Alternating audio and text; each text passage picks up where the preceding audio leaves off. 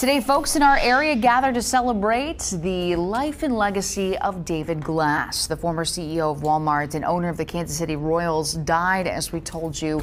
This happened on January 9th following complications with pneumonia. The event happened at the Northwest Arkansas Fellowship Bible Church in Rogers, and it was this afternoon.